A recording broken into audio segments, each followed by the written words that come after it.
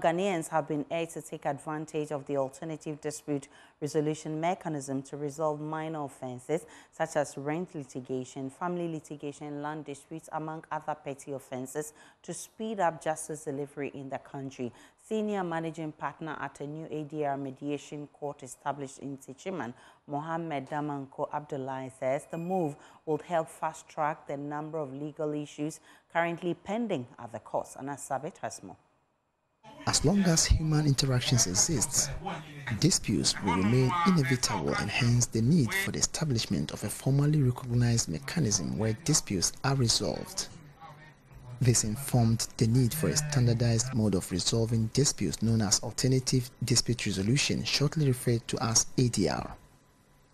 Senior Managing Partner at the new ADR Mediation Court in Techiman, the Citizen Ombudsman ADR Center, Mohammed Damanko Abdullahi, says the Mediation Center aims at helping provide an avenue to people who cannot afford the services of a lawyer.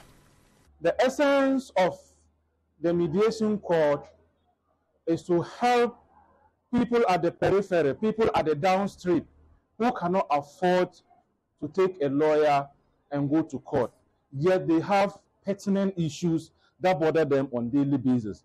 So the ADR court now offer an avenue to those persons who do not have the means to take a lawyer. Lawyer Mohammed Abdullah noted that the expensive nature of Ghana's court system, coupled with its busy nature, means the mediation center will help in fast-tracking litigations in our local settings. Of course, court system is expensive, it is time consuming, and the courts are actually choked.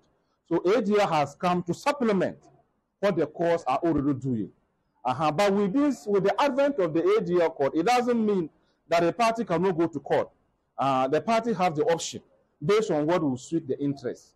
Uh -huh. But certainly, a less effective cost-oriented system, I think a party will opt for such a system in resolving the dispute. Hence, Wahima and Bamuhima of the Techiman Traditional Council, Nana Ama Asantua Munifi II, on her part, expressed excitement with the new mediation center, adding that the move has come to relieve the courts and traditional authorities of the numerous cases currently pending. Now our courts are choked with minor issues. Our palace are choked with some issues. So the alternative dispute resolution has come to relieve the courts and Nananom as well. So we wholeheartedly accept it, and it's a good cause. So we are fully in support. And my advice to my community is that we should make use of the Alternative Dispute Resolution Center one of the newly trained mediators, Nubana Eugene, says the ADR system works in a speedy manner and ensures that parties involved live in a more united manner after judgment, unlike the current court system. One of the, one of the interests of ADR to make sure that people don't have their case spend so much. You go to court, you come, some takes two years, three years, four years, and their cases are still in court and they are still battling with it.